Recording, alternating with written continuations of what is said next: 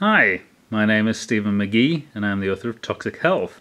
And we're here to assess wireless radiation transmission around chicken wire. And off the screen we have a chicken wire Faraday cage that is ungrounded. And our source of radiation to test that cage with is going to be this wireless router. And our receivers are going to be these two wireless radiation meters.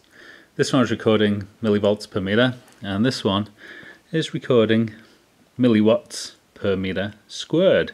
And right now our wireless router is switched off, so I'm now going to plug it in so it can generate a signal. So what we were looking at was the background radiation levels, and that now should spike up to the wireless router radiation levels as the wireless network adapter switches on, which it has just done so. So we can see that our values have settled down to about 2 volts per meter on the upper meter.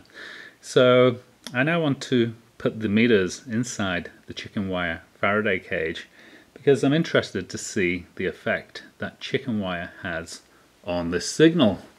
So here goes.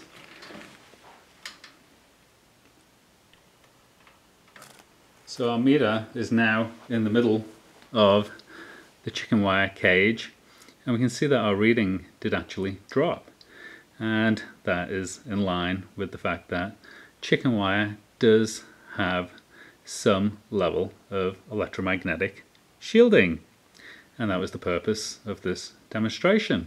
So I'm going to turn off the wireless router and we can see what the levels drop back down to inside the cage. So there's no doubt that those readings were coming from the wireless router and we've returned to very low radiation readings.